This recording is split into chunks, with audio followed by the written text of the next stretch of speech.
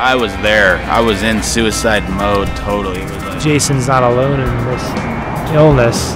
I lived out of this for two years. And I'll make a documentary. I'll show him, his life, his friends. I pushed the hood down on it, hoping that it would smother the, the flames. And what it. Say hi, guys. I, be- I was begging for God's mercy to help me.